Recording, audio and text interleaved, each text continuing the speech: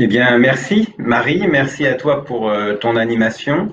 Euh, je précise juste que euh, la société Tergis, si elle, s'est égarée sur le lien du suivi Swapcard pour les auditeurs et qu'elle n'est pas rentrée dans la plateforme des intervenants, mais si Monsieur Suti est avec nous, on trouvera la modalité pour le faire intervenir dans un atelier de cet après-midi.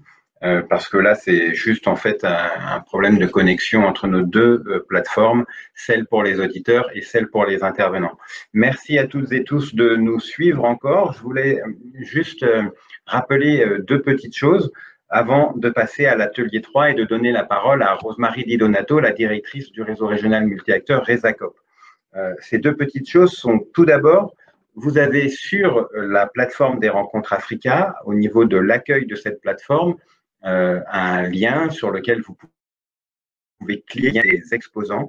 Et là, vous allez retrouver l'ensemble des présentations, les PowerPoint ou les petites vidéos des intervenants, entreprises et euh, organisations de la société civile. Vous pouvez également, en cliquant sur euh, le lien des collectivités territoriales, rentrer en contact, avoir les coordonnées des gens qui sont connectés et avec lesquels vous pouvez dialoguer et vous pouvez aussi avoir accès au projet de ces collectivités territoriales en cliquant en page d'accueil sur l'onglet euh, euh, projet.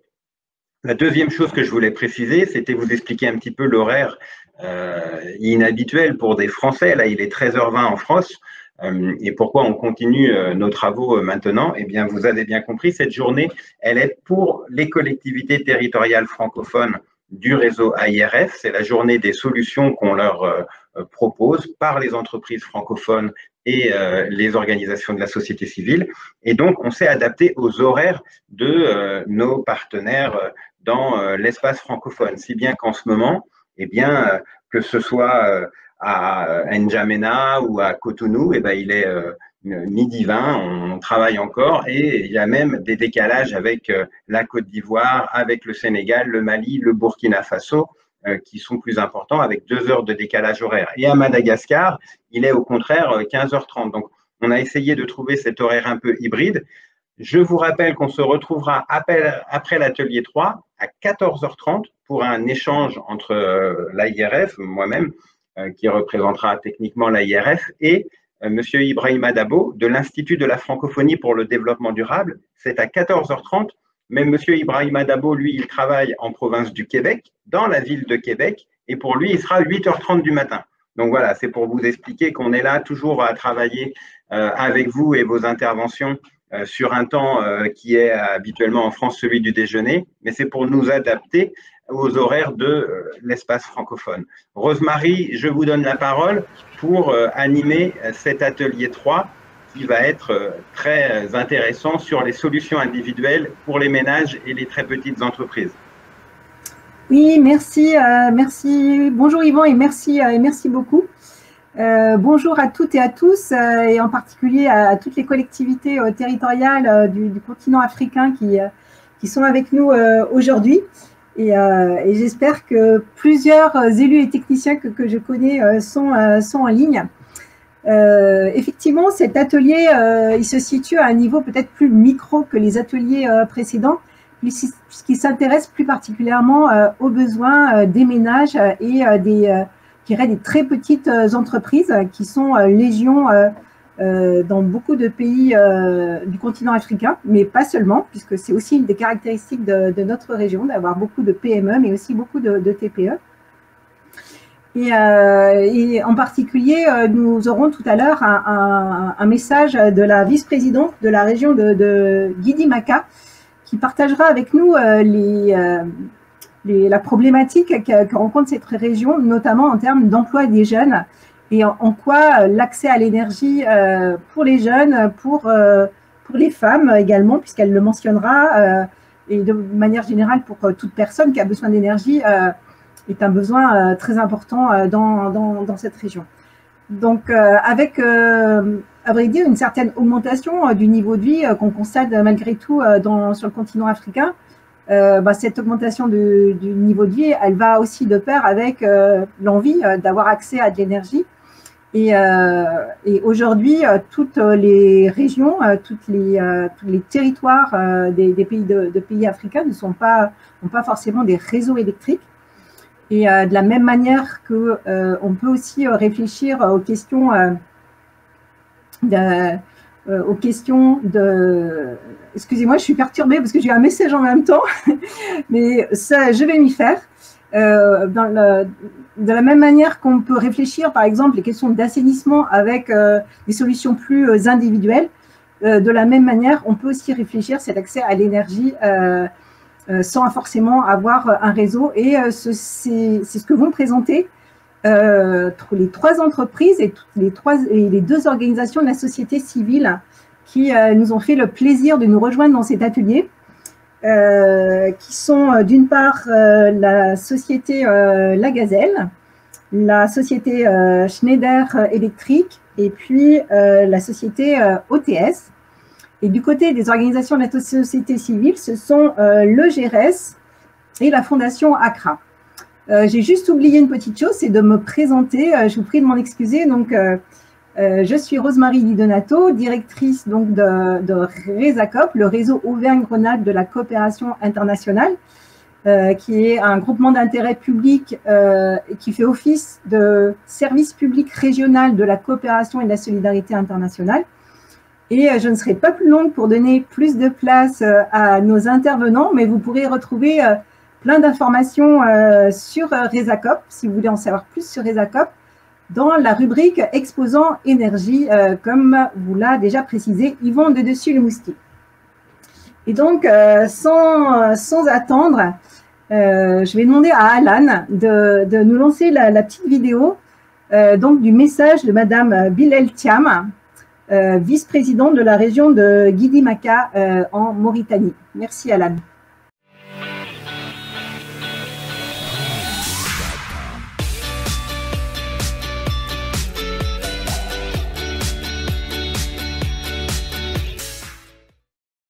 La région de Guidi-Maha, c'est une région qui se situe à l'extrême sud du pays, c'est-à-dire de la Mauritanie. C'est la dixième région du pays. Il est situé au sud par le fleuve Sénégal, au, est, au sud-est par le Mali à travers l'ouest Karakoro, à l'est par la région de Lassaba, à l'ouest par la région du Gourgoul. C'est une population qui est à 267 029 habitants en 2013, c'est-à-dire le recensement de la population de 2013, et d'une superficie de 10 millions 300 mètres carrés.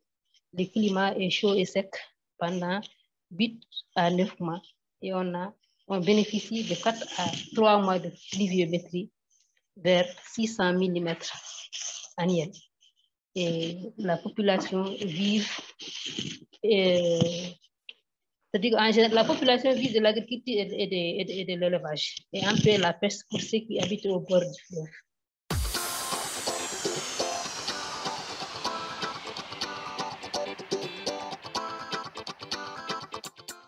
Pour ce qui est de l'accès à l'énergie, c'est un peu difficile. Je peux même dire, c'est-à-dire que c'est juste les deux départements le, le, le, département de... Et j'ai oublié de dire que la région est composée de trois départements, notamment le département de Oulié le département de, euh, de Selibabi. Et il y a deux ans, le département de Khabou s'est ajouté, donc c'est devenu trois départements.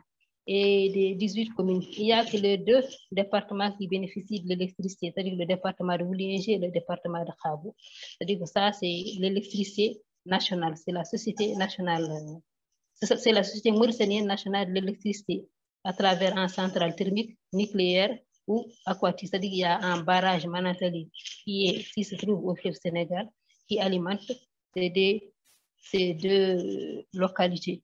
Et parallèlement à ça, il y a aussi un central thermique dont la fonctionnalité n'est pas aussi effective. Il y a certains chefs des communes qui, certains chefs des communaux qui bénéficient de cette forme d'électricité, mais elle n'est pas aussi fameuse. Il y a le problème de la surfacturation, il y a aussi le problème des, coupures d'électricité, il y a aussi des problèmes d'un service discontinu, donc ce n'est pas 24 heures sur 24. Donc, de 8 heures à minuit, ou bien et ça s'arrête pendant toute la nuit, on n'a pas d'électricité. Et ça, c'est juste certaines communes de la, de la région qui en bénéficient. Je rappelle que la région est composée de 18 communes, même pas 6 communes qui bénéficient aussi de cette forme d'électricité. Donc, nous assistons à un problème crucial d'énergie au niveau de notre pays.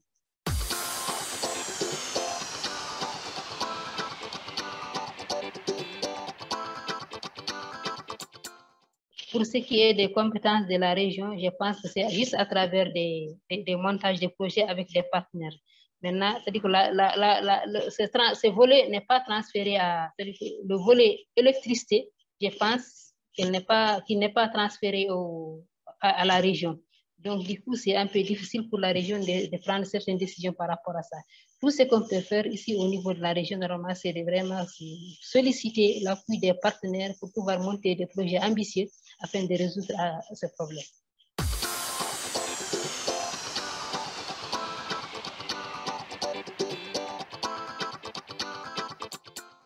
Mais on a vraiment une population, une couche de population suit.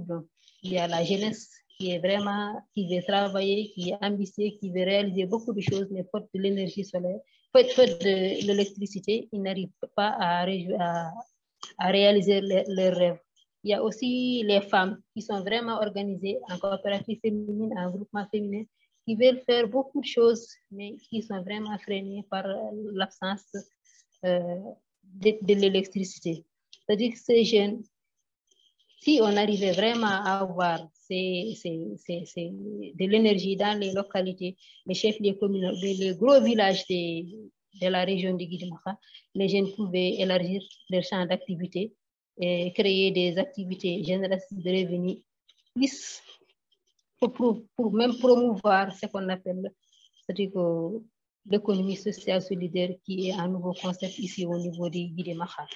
Les femmes peuvent créer des activités aussi ambitieuses, ambitieuses pour, vraiment, pour justement, vraiment, euh, pour justement, euh, comment, comment dire, rehausser le revenu et le statut social. Et les jeunes aussi, quand ils arrivent vraiment à avoir des activités généreuses de revenus fiables, cela peut impacter positivement, ça peut euh, stopper ce qu'on appelle euh, l'immigration clandestine, ce qu'on appelle rural. Les jeunes peuvent se fixer, pourront se fixer dans les localités et travailler de manière effective pour pouvoir vraiment subvenir aux besoins de la population et développer leur, leur Covid.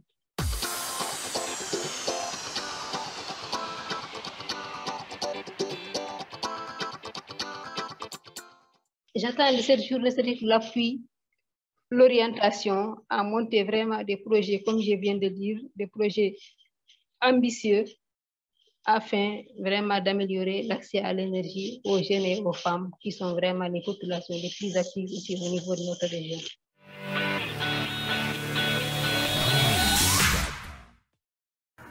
Eh bien, je crois qu'après euh, après cette, euh, ce, message de Madame Thiam, qui, qui est euh, un message très, très enthousiaste en fait sur, sur son envie de pouvoir aussi mobiliser les partenariats internationaux sur l'équipement en énergie de, sa région.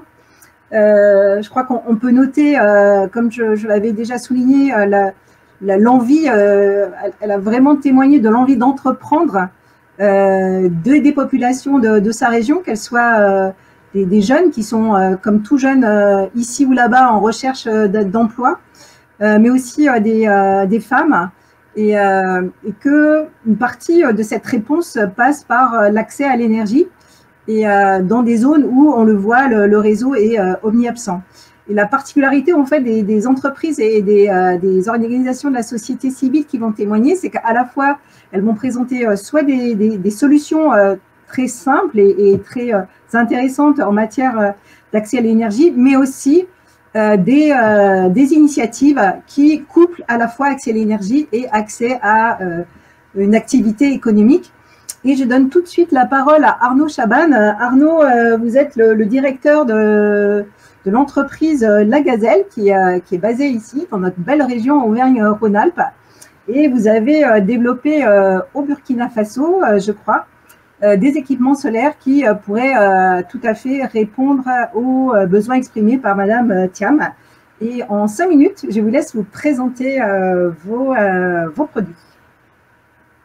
Ok, ben merci Rosemary, merci à cette journée qui nous permet de présenter une fois de plus euh, euh, notre, entreprise.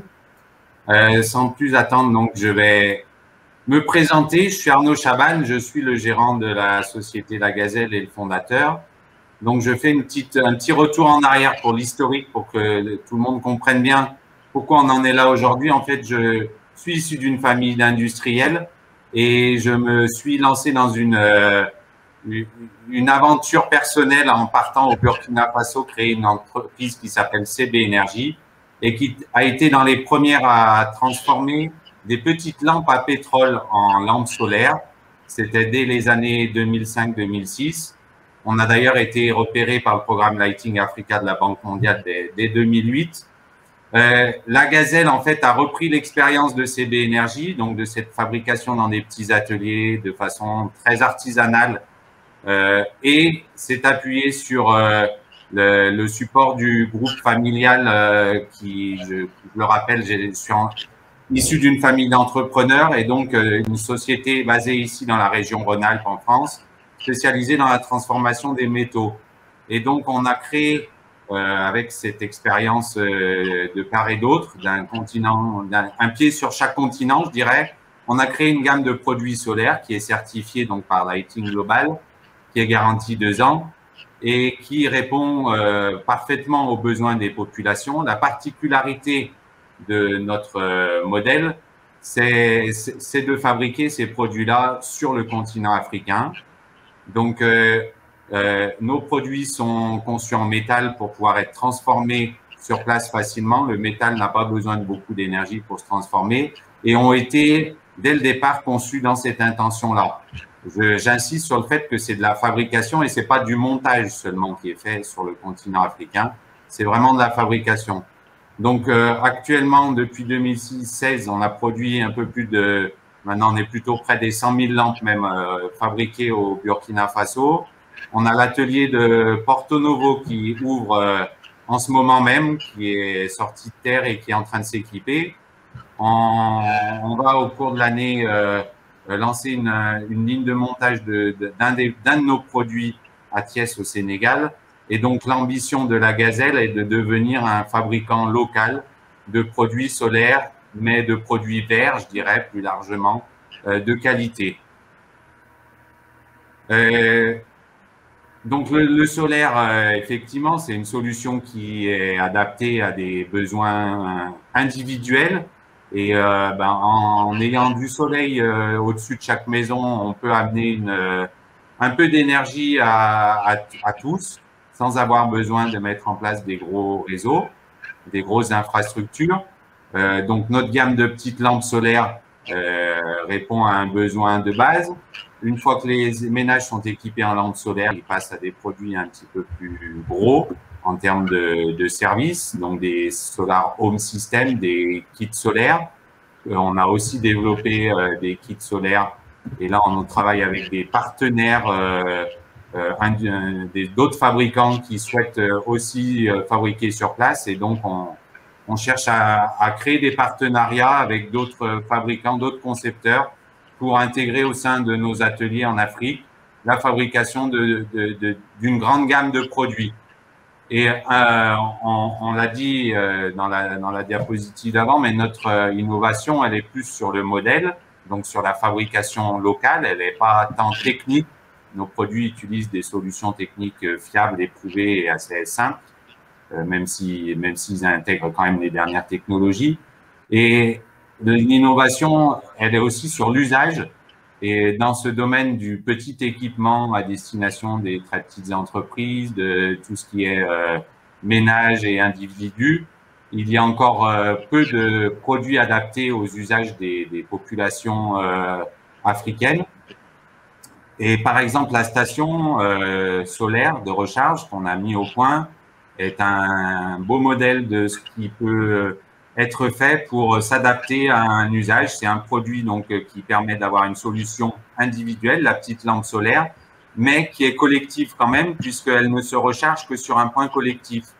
L'intérêt de ce produit-là, c'est qu'on n'a pas une solution totalement individuelle qui risque d'être détournée de son usage ou qui risque d'être fragmentée, de, se dissiper un peu partout et on retrouve plus on retrouve plus toutes les, tous les produits, ils ont été détournés. Alors que là, ben la solution permet d'avoir une solution individuelle d'éclairage, la petite lampe solaire, et d'être euh, obligé de revenir soit à l'école, soit à la maternité, comme vous pouvez le voir sur les deux projets qui sont présentés ici, où, euh, où les résultats sont encourageants et où le, les, choses sont durables.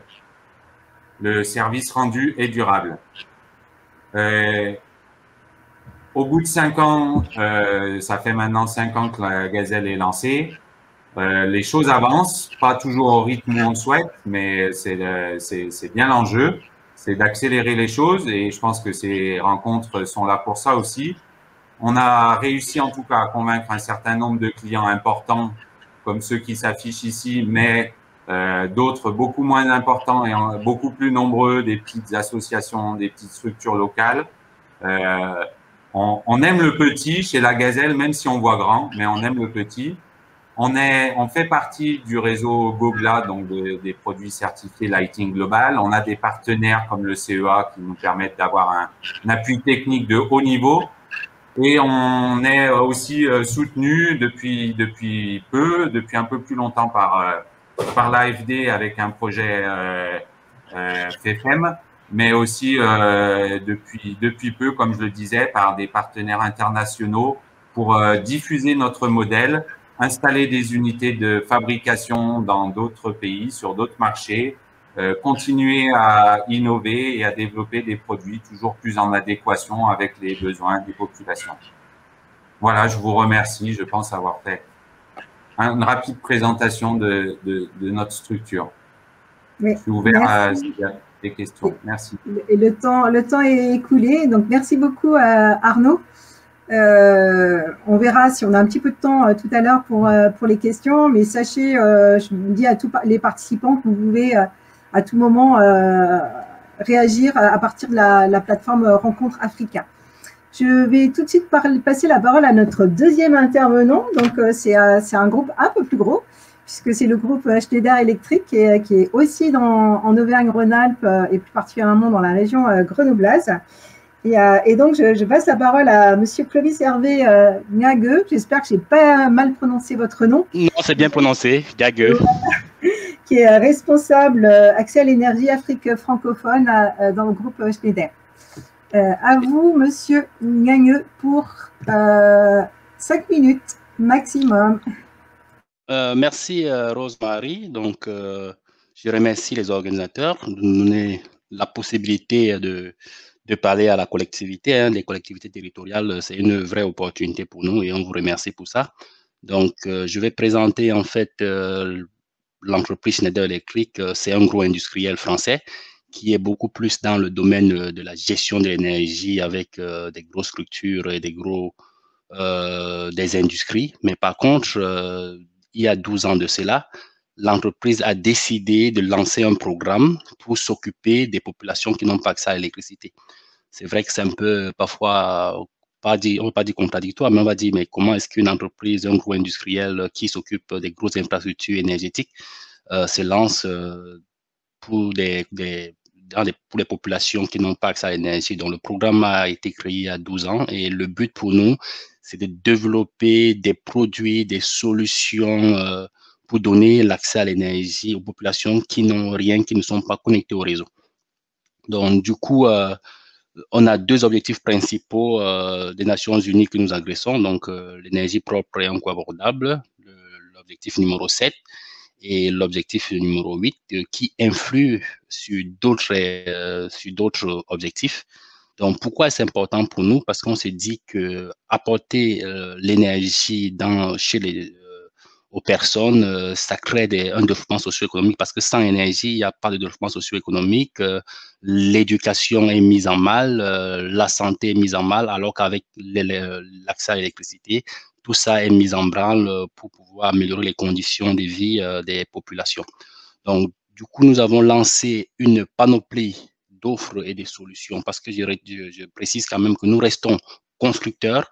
Donc, on reste dans notre métier de constructeur, de fabriquer les produits, des solutions pour mettre à la disposition des populations, des collectivités, pour qu'elles bénéficient de l'électricité.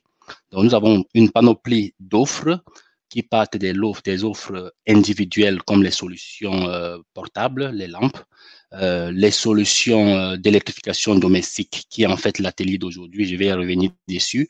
Et nous avons aussi des solutions d'électrification collective, donc des solutions plus grandes pour connecter tout un village ou connecter toute une collectivité euh, ou une ville secondaire.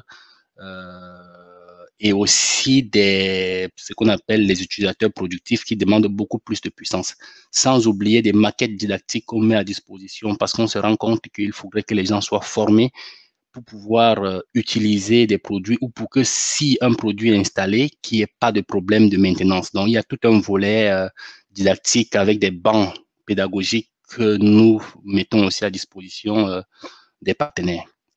Donc, pour revenir un peu aux solutions d'électrification individuelle que nous avons lancées, qu'est-ce que nous avons? On, cible en fait les milieux hors réseau, c'est-à-dire déconnectés de la régie, ou des milieux, des zones périurbaines où il y a beaucoup de coupures d'électricité et nous fournissons des solutions ou des produits plug and play. Par exemple, SHS que nous avons là, c'est une solution plug and play. Donc, euh, la, famille ou le ménage prend le produit et il a et il n'a pas besoin de l'assistance d'une personne. Donc, il se connecte, euh, il a l'électricité, euh, il a les lampes qui sont allumées, il peut charger son téléphone.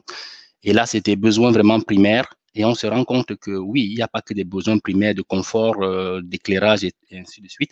S'il a besoin de plus d'énergie, on a développé une autre offre qu'on appelle Omaya hybride de 1500-850. Donc, les besoins sont progressifs pour des ménages. Donc, du coup, on peut avoir toute une électrification individuelle sans avoir besoin de se connecter au réseau et pouvoir avoir la lumière, la télévision, le réfrigérateur, comme une maison normale de la ville. Et on a aussi pensé, parce qu'il ne faut pas que du confort pour des ménages, il faut penser à un développement économique, on s'est dit, pour des commerces et des activités génératrices de revenus qui demandent plus de puissance. Nous avons des solutions un peu plus puissantes de 3 et 6 kW qui demandent certes euh, l'appui d'un installateur pour pouvoir euh, électrifier euh, le commerce ou une résidence qui a beaucoup plus de, besoins. Donc voilà en fait les produits avec les caractéristiques et pour le, plug and play. Ce qu'on peut dire sur nos offres aujourd'hui, par exemple avec le Covid qui jaillit, donc il y a beaucoup d'employés qui sont en télétravail. Par exemple, le cas du UNHCR dans certaines zones reculées quand les employés viennent euh, au bureau, il n'y a pas de problème, mais quand on demande de travailler à la maison, ils sont confrontés à des solutions, à des, problèmes de coupure ou parfois des employés qui sont dans des zones qui ne sont pas connectées. Donc, avec ces produits, euh, aujourd'hui, avec un partenaire au Cameroun, on a développé des sites, des, kits individuels euh, pour pouvoir alimenter les ordinateurs, les, l'électricité, les lampes et donner à ces employés une solution complètement autonome. Et la question qu'on se pose aujourd'hui, euh, on se dit, pour ces villages-là, est-ce qu'il faut même attendre le réseau? Parfois non. Euh, on se dit que nos solutions aujourd'hui euh, sont compétitives bas coût, si bien que les populations aujourd'hui, on peut aller dans un modèle disruptif où les populations se connectent plutôt avec des solutions individuelles que d'attendre le réseau. Et je pense que l'avenir, parfois même de l'électrification, passera par des solutions individuelles de connexion. Mhm, très bien. Merci. Merci beaucoup, euh, Clovis et Hervé. Merci, c'était, euh, je pense que ça complétait très bien la, première, euh, la, première présentation.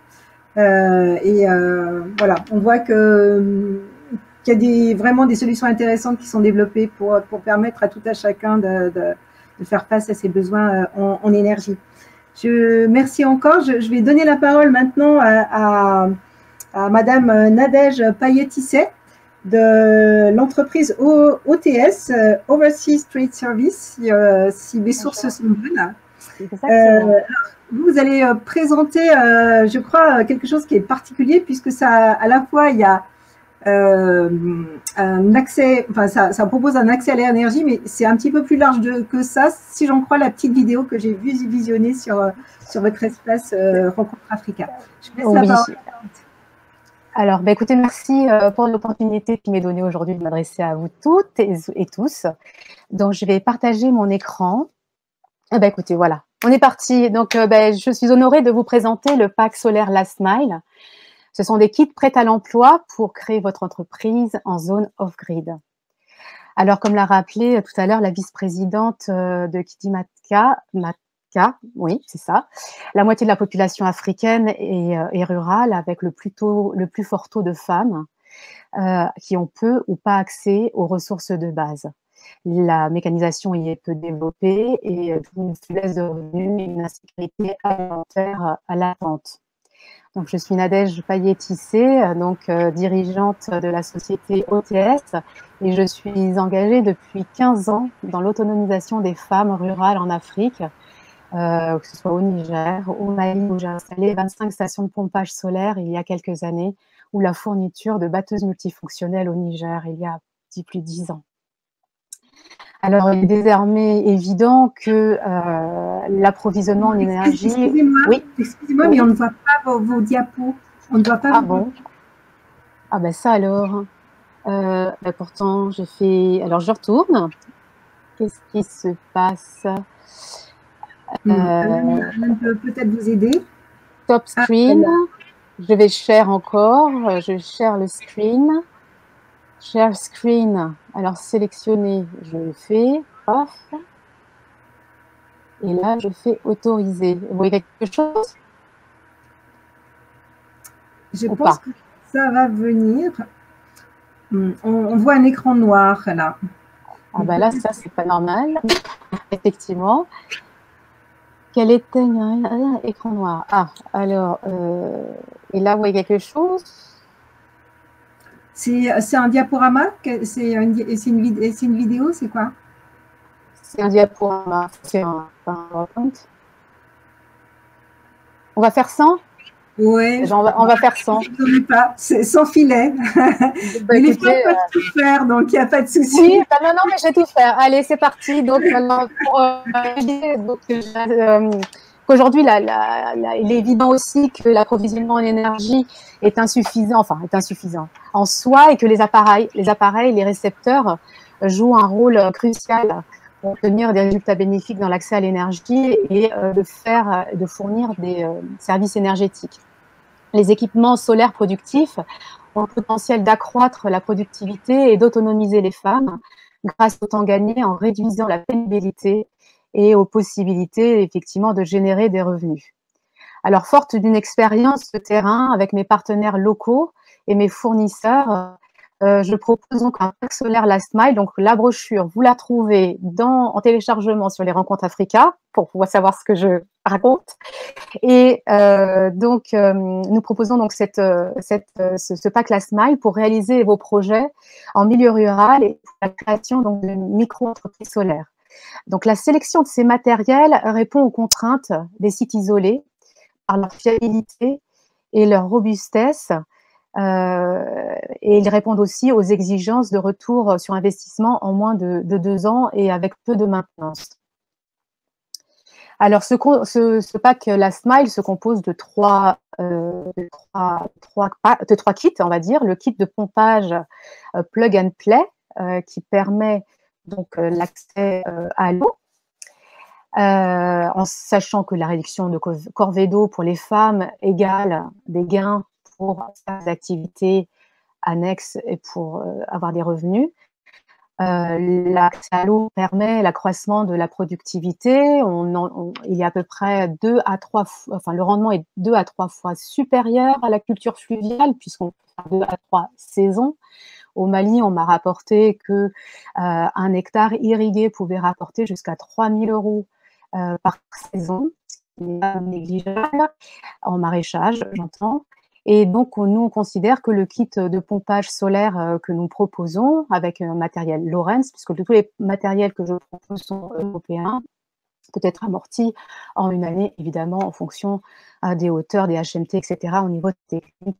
voilà Ensuite, le deuxième kit, il s'agit d'un kit 3 en 1 froid qui comprend un réfrigérateur ou un, conservateur hein, jusqu'à moins, moins 12, un kit 3 en 1 froid, donc avec une recharge de téléphone portable et une, lampe pour pouvoir travailler le soir.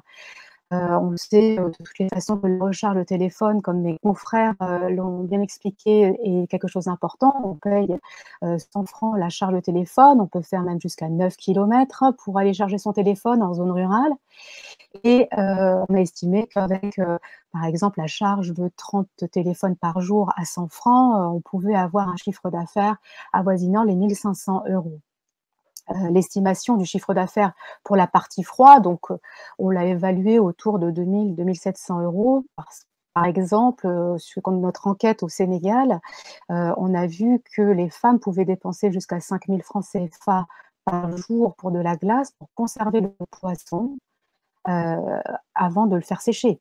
Donc, c'est autant d'argent gagné et c'est absolument pas négligeable pour ces personnes vu ce qu'elles peuvent en, faire par après pour la collectivité, pour la famille. Et ensuite, le dernier kit que nous proposons, bah, c'est un kit moulin solaire qui a été dimensionné pour faire la mouture de farine de mille de sorgho jusqu'à 180, 180 kg par jour. Pour l'appareil le chiffre d'affaires que cela pouvait euh, être, euh, qui pouvait être généré, pardon, euh, donc 150 kg jour à 0,0 à, 6, à 8 centimes par on peut avoir généré quand même un 3000 euros de chiffre d'affaires, ce qui est extrêmement conséquent, puisqu'en plus, enfin, ce kit en plus est transportable, donc on peut imaginer le, le transporter sur un tricycle euh, et, aller de, village en village. Donc c'est vraiment une opportunité aussi de, d'activité pour les jeunes, notamment dans ces zones. Et c'est très très important. Donc, oui, je crois euh, que ça, répond très bien en fait aux préoccupations de, de, de, Madame Thiam hein, tout à l'heure. Tout à fait. Ben, je connais bien la Mauritanie et je sais, j'ai envoyé du matériel par la diaspora dans sa zone et je sais que c'est extrêmement euh, important. Voilà. Voilà, je, vais être obligée de, vous interrompre, mais je pense que vous, aviez, vous avez très bien présenté euh, les, produits, euh, les solutions que, vous proposez, et, je pense que voilà, il y a, beaucoup d'intérêt qui, euh, qui peut être trouvé, et je pense que, que ce soit en Mauritanie ou ailleurs, vous l'avez déjà, je pense, expérimenté. Merci beaucoup. je vais tout de suite passer la parole donc à, au GRS donc Alexis Cojol, euh, qui est responsable du programme Accès à l'énergie et transition énergétique, si, euh, mes notes sont bonnes. Euh, à vous, Alexis. Les notes sont bonnes. Merci beaucoup. merci pour l'invitation et pour l'organisation de cette journée. Bonjour à, toutes et à tous. donc, je vais très rapidement présenter le GRS avant de parler de de ces solutions individuelles. je vais partager Super. Euh, alors le GRS, c'est une euh, ONG de développement qui a été créée en 1976 et qui œuvre euh, donc à l'amélioration des conditions de vie et de la lutte contre les changements climatiques. on travaille pour, ça sur deux principales thématiques à travers cinq métiers, donc deux thématiques qui sont l'énergie et le, climat, à travers cinq métiers, donc l'accès à l'énergie dont on va parler très largement aujourd'hui, euh, mais également le déploiement des, des ENR avec euh, bah, des projets de, euh, par exemple, de charbon durable, ou, enfin, par exemple, comme exemple, le, des, un métier qui est la maîtrise de la demande de l'énergie, avec notamment des projets de, de cuisson propre et efficace. Euh, et puis également, bah, du coup, le, la thématique un petit peu plus euh, climat, donc l'accompagnement des politiques et d'action climat-énergie, ou encore la mobilisation des acteurs autour de ces, ces problématiques. Donc euh, rapidement une carte de nos terrains d'intervention. Vous voyez qu'on travaille à la fois en France, où le siège du GRS est basé, et bah, dans les pays en développement avec une présence très importante en Afrique de l'Ouest, euh, à travers des projets de terrain euh, avec des équipes qui sont implantées localement. Euh, ou sur bah, une, méthode d'assistance technique auprès d'acteurs locaux, qu'ils soient publics ou privés, qu'on accompagne à monter leur projet via notre, expertise développée sur nos propres projets. Donc voilà, très rapidement, pour ce qui nous intéresse aujourd'hui, euh, sur le métier de l'accès, enfin, des solutions individuelles et de, l'accès à l'énergie, euh, nous, on conçoit ce métier euh, à travers ce type de solutions pour favoriser l'accès à tous les types de bénéficiaires, qu'ils soient des particuliers, des entreprises ou des, communaux, enfin des, acteurs, des institutions et des acteurs communaux. Euh, pour leur favoriser l'accès à des services énergétiques euh, fiables et durables. Euh, donc par rapport au métier qu'on a vu juste avant, le but c'est justement de se reposer sur des leviers techniques que sont la maîtrise de l'énergie et le développement des énergies renouvelables et d'associer ces deux leviers à des leviers sociaux et économiques qui vont permettre de faire en sorte que cet accès à l'énergie soit disponible pour toutes et tous et qui ne soit pas sélectif. Donc c'est de favoriser la, dimension inclusive de l'accès à l'énergie. On travaille euh, pour en venir au, sujet d'aujourd'hui. Je vais peut-être euh, arrêter le partage. Euh, voilà. On travaille pour en revenir au sujet d'aujourd'hui, du coup, à la, sur les solutions individuelles d'accès à l'électricité. Donc, on travaille depuis peu. on a eu pas mal d'expériences passées à travers une équipe qui a des expériences passées sur, sur ces sujets, mais le, le GRS travaille depuis peu sur les, solutions individuelles en Afrique de l'Ouest. Euh, et avec une politique euh, un peu particulière. Euh, on est parti de, deux constats. Le premier, c'est que le, les solutions individuelles, certaines solutions individuelles qui sont disponibles sur le marché, ne permettent pas vraiment de sortir de la pauvreté énergétique. On se rend compte qu'il y a énormément de personnes qui passent d'une situation de non-accès à une situation de précarité énergétique soit parce que le dimensionnement technique n'est pas assez puissant ou performant, parce qu'il y a un manque de moyens à l'investissement euh, qui, euh, bah, qui limite la taille des systèmes, par exemple, que les besoins sont finalement non couverts et enfin qui sont non couverts techniquement ou alors qui sont couverts de façon trop intermittente dans le temps, ce qui ne permet pas de, bah, de, sortir complètement de la pauvreté énergétique. On sait aussi que le nombre de, d'activités économiques qui peuvent être électrifiées euh, grâce à ces solutions individuelles sont encore très limitées. Euh, c'est possible dans certaines conditions, mais on se rend compte que voilà, les solutions actuellement, certaines solutions actuellement euh, disponibles sont pas forcément adaptées à cette sortie de la précarité énergétique. Le deuxième constat, c'est que les entreprises, c'est l'envers du décor, les entreprises qui développent ce type de solutions sont, font face à des défis qui sont considérables pour délivrer des solutions et des services à la fois techniques et commerciaux euh, euh, de qualité euh, jusqu'au dernier kilomètre, que ce soit des, problèmes logistiques ou organisationnels, et que finalement le, le, elle, elle, enfin, éprouve toutes les difficultés possibles pour mettre en place ce type de solution. En fait, les solutions individuelles, l'autre problème, c'est aussi que, contrairement au mini-réseau, dont on va parler dans un, atelier ultérieur, euh, les solutions individuelles doivent, euh, enfin, nécessitent de remettre l'utilisation et la gestion euh, des, du matériel, et notamment du matériel de production et des panneaux solaires, dans les mains du client final. On se rend compte qu'il y a souvent un raccourcissement de la durée de vie des équipements et que le solaire nécessite des compétences techniques qui sont pointues, qu'il est nécessaire en fait d'implanter très localement pour permettre la viabilité des modèles. Donc voilà, ça, on est parti de ces deux constats. Euh, le GRS, on propose une solution de mini-réseau euh, aux entreprises, aux entreprises, dont on parlera après, mais on se base, ce qui est important, c'est qu'on se base sur cette solution euh, pour, euh, comme, une, comme une structure logistique, technique et commerciale euh, qui permettent de distribuer ces solutions individuelles. Euh, donc on lance ce, ce, projet pilote avec deux contraintes qui sont liées à ces, à ces constats que je viens de citer.